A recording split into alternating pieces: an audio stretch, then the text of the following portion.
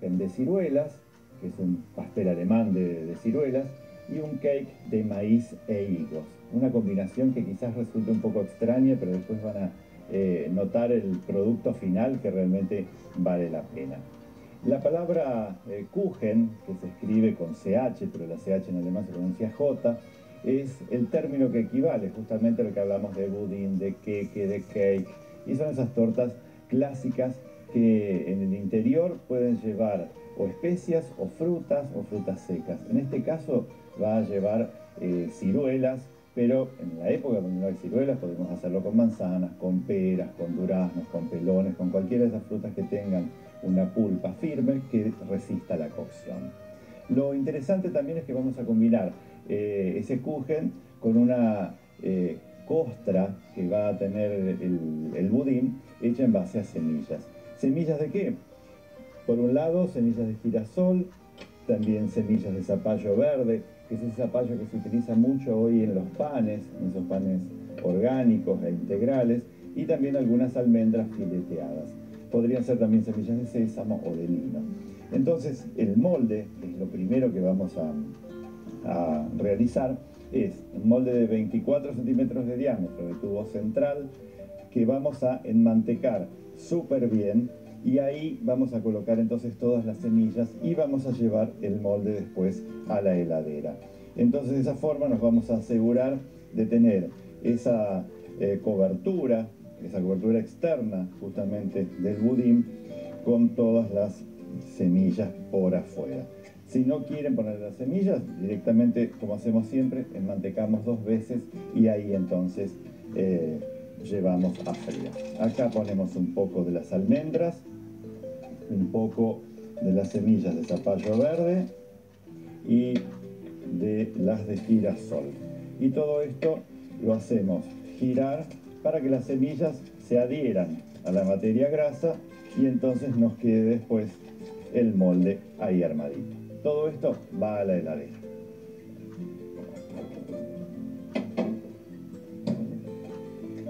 Y ahora sí, entonces, la masa. Para la masa vamos a tener, por un lado, 140 gramos de manteca o mantequilla. Esa manteca o mantequilla la vamos a colocar en la batidora con la lira y le vamos a incorporar 200 gramos de azúcar orgánico. Si consiguen el azúcar orgánico o también podría ser el azúcar mascabo moscovado, la torta después tiene un sabor al azúcar silvestre muy muy pronunciado y realmente queda bien. Y si no, azúcar blanco. Colocamos todo el azúcar, 200 gramos, y va a llevar 140 gramos o centímetros cúbicos de aceite. Yo prefiero aceite de maíz, pero podría ser también de girasol o de arroz o el aceite de canola que se utiliza tanto en las preparaciones. Entonces, todo esto lo vamos a mezclar muy bien. Una pizca de sal nunca falta en todas estas masas y después vamos a agregarle 5 huevos. Es una masa que van a notar que es líquida respecto a todas las otras que uno muchas veces hace en, los budines. Es una masa que tiende a ser un poco más líquida. Vamos a bajar un poco los bordes de la, del batido, de este cremado, y ahí recién entonces vamos a empezar a incorporar huevos.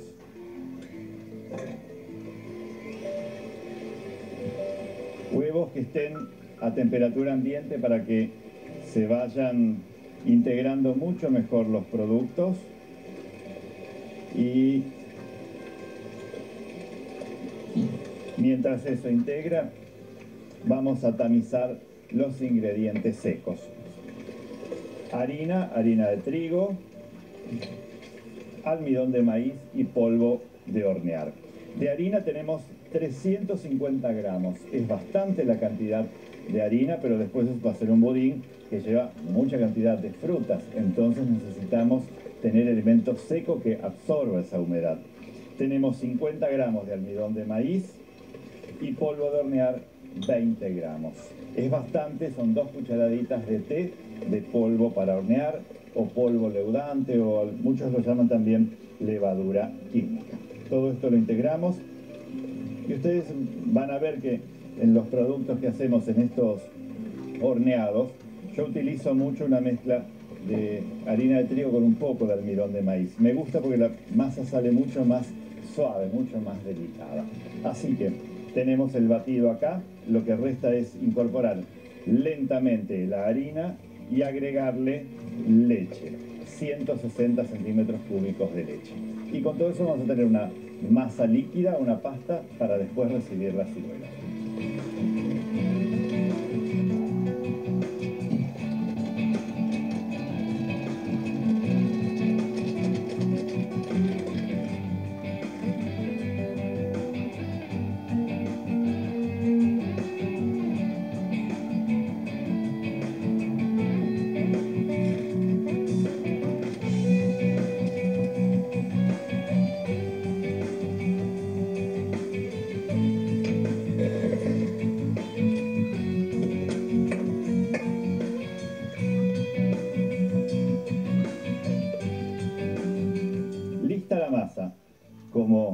Es una masa más vale líquida, es como súper, súper líquida. Y aún más líquida se va a poner cuando nosotros utilicemos ahora las frutas. ¿Qué es lo que tenemos? Tenemos ciruelas, en este caso las ciruelas eh, de cáscara roja con piel eh, roja y carne amarilla, están cortadas en unos cubos de un centímetro aproximadamente. 600 gramos es lo que nos tiene que quedar una vez limpio. Y estas frutas nosotros las vamos a mezclar con un poco de canela, que les queda muy bien, justamente todas estas frutas de, carozo, apenas una pizca de canela, y la vamos a mezclar con unos 40 eh, gramos de polvo para flan. El polvo para flan es una preparación que ustedes ya compran lista, que es con lo que agregándole leche y cocinándolos en el horno o a veces en frío, directamente tienen su eh, flan de huevos, ¿no es cierto?, hecho en base a un polvo.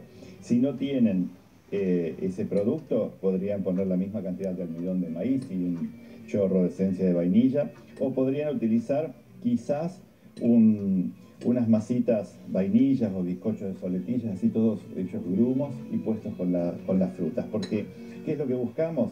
Darle un poco de sabor y a su vez que absorban un poco justamente del, líquido que van a soltar las frutas en el horno.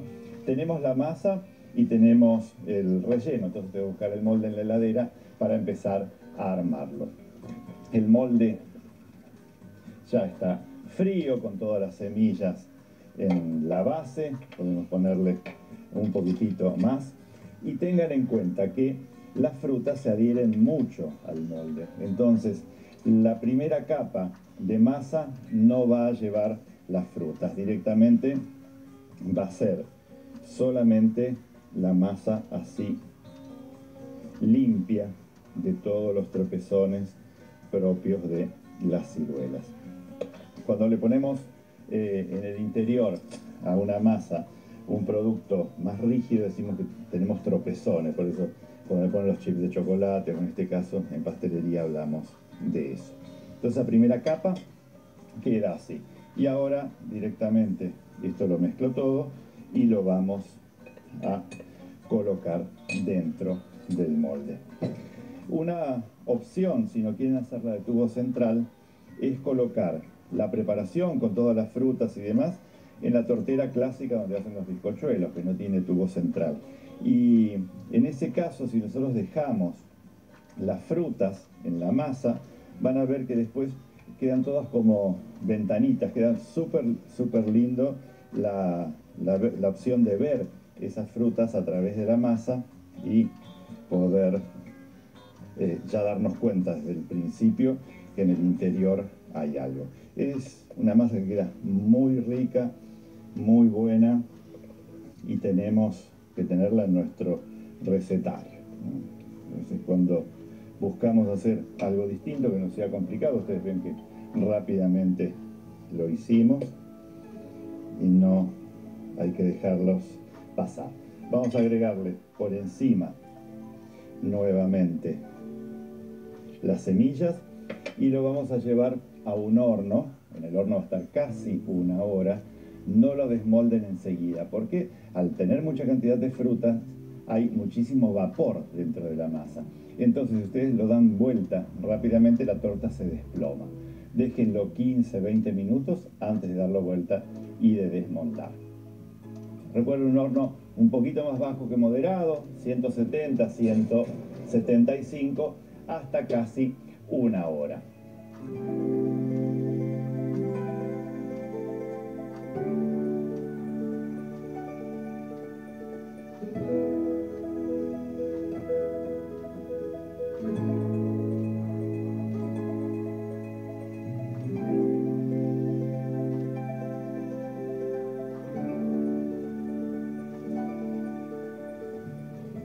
Turno del cake de maíz e higos. En la masa vamos a encontrar la harina de maíz y los higos, en este caso remojados. Pero tiene entre dos capas de masa un relleno. Eh, es un relleno que le va a dar humedad porque la masa después en el horno se pone bastante compacta. Y ese relleno tiene una base de ricota y de una crema pastelera. La crema pastelera ustedes pueden hacer la tradicional de yemas, azúcar, almidón y leche pero a veces para los rellenos conviene utilizar las cremas pasteleras que vienen instantáneas. Eh, se preparan en frío porque tienen almidón modificado y entonces solamente basta pesar el polvo y ver en el envase si necesita dos o tres veces su peso en agua o en leche. En este caso yo voy a necesitar 200 gramos en total, puse eh, unos 60 de polvo y unos 140 de agua y eso me va a dar los 200 gramos de crema pastelera. Y se hace así, súper simple, mezclamos y tenemos que remover durante algunos minutos. Y una vez ven que la crema pastelera tiene la consistencia ideal, al igual que la que utilizamos siempre en nuestros postres, vamos a agregarle 250 gramos de ricota de leche entera. No la descremada, sino la ricota de leche entera. Esto lo vamos a unir y vamos a agregarle dos cucharadas de azúcar impalpable o azúcar en polvo. Ahí, ralladura de una naranja, de la piel de una naranja, unos 30 centímetros cúbicos de licor de naranja y con todo eso vamos a formar nuestro relleno. Después le vamos a agregar unas cerezas confitadas, unos pistachos que están pelados como se pelan con agua hirviendo y después se les saca la piel, quedan de ese color verde más, más vivo. Y ahora entonces nos toca la masa. Para la masa vamos a colocar 300 gramos de harina con 15 gramos de polvo leudante. 300 de harina, con 15 gramos de polvo para hornear o polvo leudante y una pizca de sal. Muchos preguntan si podemos utilizar la harina leudante ya comprada, la que viene directamente en los envases. Yo les recomiendo que no, que siempre pesen aparte el polvo leudante porque hay recetas que utilizan mayor cantidad de polvo y hay recetas que utilizan casi nada. Las tartas, por ejemplo, no necesitamos demasiado polvo leudante. En cambio, para un scone necesitamos que desarrolle mucho hay que agregarle extra. Entonces es preferible siempre tenerlo por separado. ¿Qué otra cosa lleva? Azúcar, 220 gramos. Todo esto lo vamos a integrar acá. Vamos a unirlos. Y harina de maíz, la más fina que consigan. La harina de maíz que utilizan muchas veces para hacer esa comida tan rica en el invierno nosotros la vamos a utilizar en este caso dentro de la masa.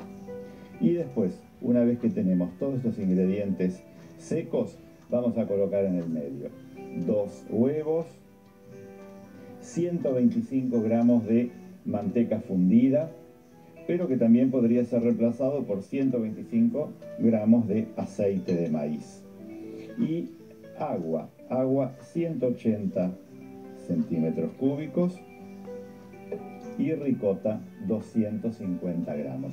Todo esto mezclado va a ser justamente la masa de esa torta. Es extraña, digamos, la, formación, pero es una masa que después queda muy húmeda en unión con el relleno de ricota. Si quieren podemos perfumar con la ralladura una naranja y podemos agregarle unos 100 gramos de avellanas tostadas y procesadas para que le dé muy muy buen sabor.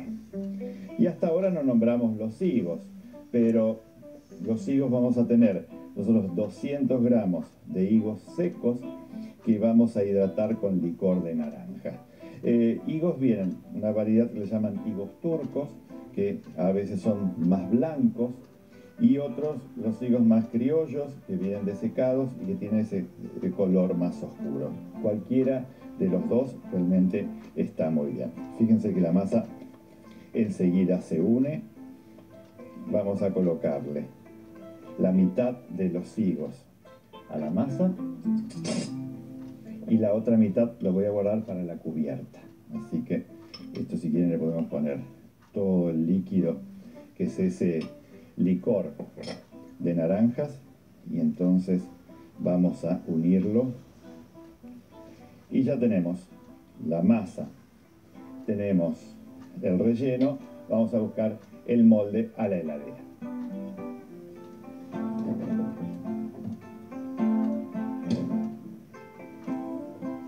Molde de 22 centímetros de diámetro que está enmantecado y con harina de maíz. Entonces, aquí lo que vamos a hacer es colocar la mitad de la masa,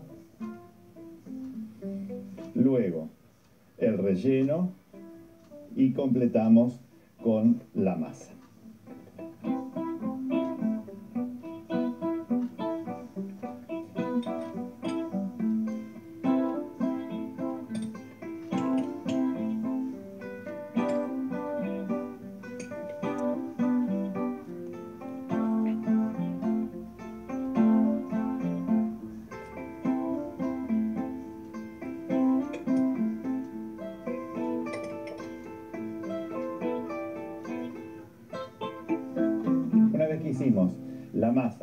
Relleno con las frutas y nuevamente la masa, hundimos en la superficie el resto de los higos y vamos a espolvorear con un poco de azúcar común, podríamos poner también un poco de harina de maíz, si queremos, antes de llevar al horno.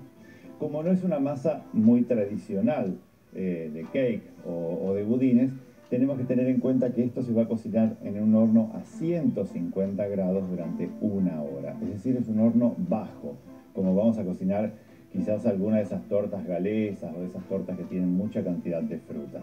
Es decir, 150 grados, un horno bajo, durante una hora. Si su horno no da esa, esa, temperatura tan baja, le puede agregar un recipiente con un poco de agua en la base, así entonces crea una atmósfera un poco mejor.